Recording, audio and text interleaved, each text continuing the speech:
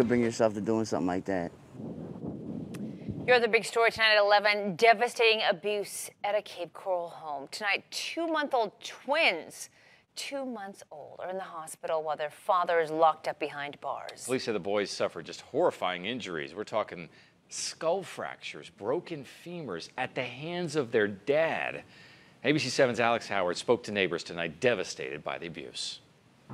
And one of those boys was initially taken here to Cape Coral Hospital before being flown to an out of county one. I did see a squad car here, yes. Iggy Lodando lives here in the Porta Vista community in Cape Coral, not far from where Christopher May and his family live. It's kind of disturbing knowing that this happened where I live. Neighbors who knew them say they never saw anything unusual happen with the young family.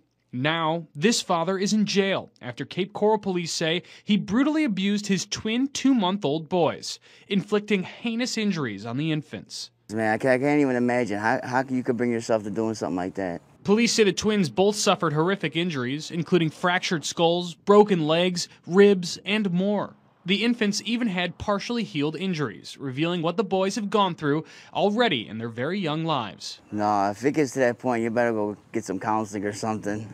Both boys were flown to out of county hospitals for specialized treatment, leaving neighbors to ask why.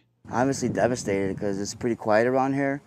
I mean, it's quiet, calm community. I'm just devastated there something like that would happen in here. In Cape Coral, Alex Howard, ABC 7. And here is the update tonight. Christopher May is now facing two counts of aggravated child abuse, and he is in the Lee County Jail.